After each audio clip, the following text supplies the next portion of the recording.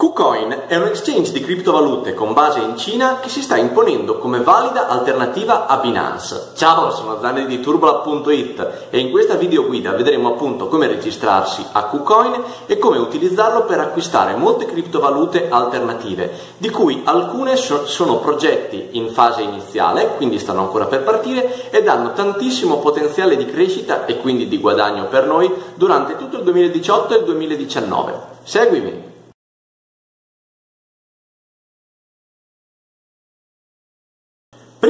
Cominciare, vi ricordo che seguendo il link che trovate nella descrizione del video qui sotto, potete raggiungere l'articolo che abbiamo pubblicato su turbolab.it con la procedura passo passo, i link alle risorse delle quali parleremo fra poco e tutte le informazioni aggiuntive delle quali potreste aver bisogno. Prima ancora di preoccuparci di utilizzare KuCoin, abbiamo bisogno di un account su un servizio che ci consenta di acquistare Ethereum oppure Bitcoin con addebito su carta di credito. In particolare io raccomando Coinbase, che nonostante ci siano un sacco di difficoltà con la validazione dei documenti e ci siano delle commissioni un pochino elevate, è comunque un'ottima ottima risorsa.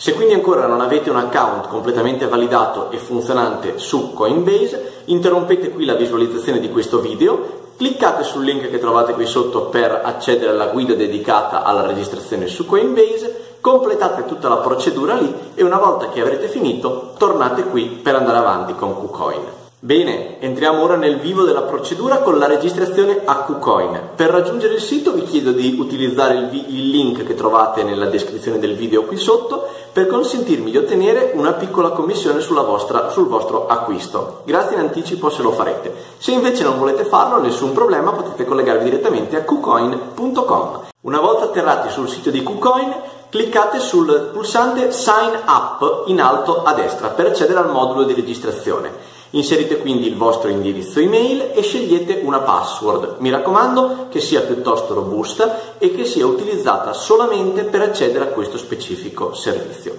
Confermate poi la vostra registrazione. A questo punto vi verrà inviata un'email all'indirizzo che avete specificato con un link per l'attivazione. Cliccateci quindi sopra di modo da atterrare di nuovo alla pagina di KuCoin con l'attivazione eseguite login con nome utente e password che avete scelto e sarete dentro al pannello dal quale operare.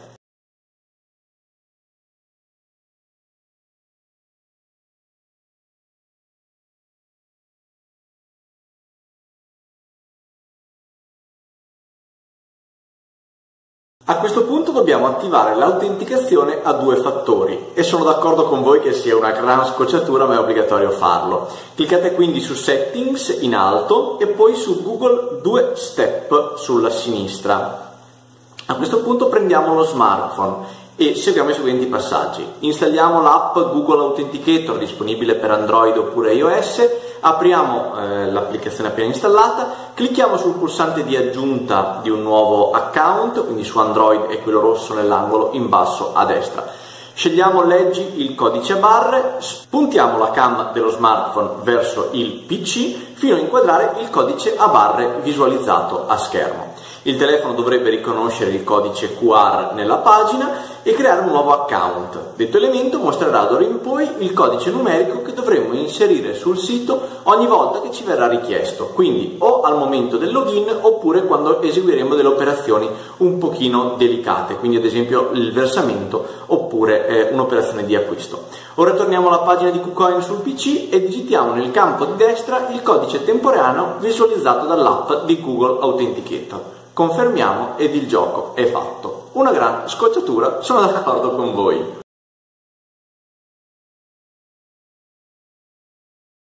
Arrivati a questo punto dobbiamo accreditare sul nostro conto KuCoin dei Bitcoin oppure degli Ethereum, trasferendoli dal nostro conto Coinbase verso il wallet, quindi il nostro portamonete privato che abbiamo su eh, KuCoin.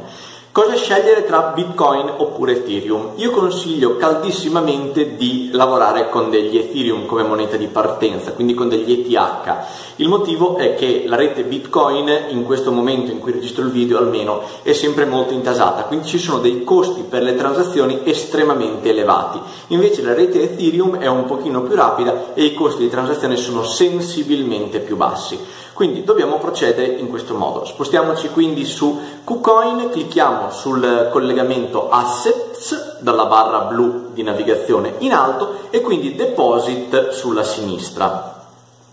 A questo punto dal menu di selezione a centro pagina cerchiamo eh, la moneta ETH, quindi quella di Ethereum abbiamo detto per i motivi appena eh, espressi. Fate bene attenzione che nella lista di centro pagina ci sono varie icone che rappresentano eh, appunto sono simili a quelle del progetto Ethereum. Ci interessa in particolare quella con il simbolo ETH. Una volta cliccato eh, sull'icona giusta verrà visualizzato l'indirizzo del nostro borsellino Ethereum su KuCoin. È qui che dobbiamo inviare gli Ethereum da scambiare con la criptovaluta alternativa che desideriamo ottenere. Quindi torniamo su Coinbase, acquistiamo degli Ethereum con addebito di, su carta di credito se ancora non li abbiamo e quindi seguiamo la procedura che abbiamo esposto sempre nel video originale della guida a eh, Coinbase per inviare gli Ethereum al wallet, al nostro indirizzo del wallet su KuCoin che abbiamo appena trovato. Attendiamo quindi i tempi tecnici necessari perché la transazione sia confermata da tutti i vari nodi della blockchain e ci ritroveremo finalmente il capitale visualizzato anche su KuCoin. A questo punto possiamo guardare, tornare al, alla voce overview cliccando sul menu di sinistra, sulla voce di menu di sinistra eh, quindi clicchiamo sul piccolo filtro, l'icona del filtro, di fianco all'icona Available Amount. A questo punto clicchiamo Filter per nascondere tutti i wallet su KuCoin che non hanno nessuna valuta caricata. Rimarrà quindi solamente il nostro Ethereum che abbiamo appena accreditato. Ora siamo pronti per comprare la criptovaluta alternativa che desideravamo fin dall'inizio. Quindi dalla barra di navigazione in alto clicchiamo su Markets e dopodiché dalle varie tab disponibili clicchiamo ETH per visualizzare il mercato Ethereum. Dal campo di ricerca adiacente immettiamo il codice della valuta alternativa che vogliamo comprare. Quindi ad esempio OMG per Omisego eh, NIO oppure eh, PRL che eh, identifica Oyster Pearl, che è una delle criptovalute crescenti che ho segnalato nell'altro mio video sulle migliori investimento per quelle a piccola capitalizzazione. Dopo aver cliccato sulla riga che mostra la valuta che vogliamo acquistare, si apre un cruscotto con un grafico che mostra l'andamento del prezzo della criptovaluta alternativa rispetto al nostro Ethereum nello, uh, nel tempo, uno storico degli acquisti e vendite che andremo a fare e altre operazioni utili ai trader esperti.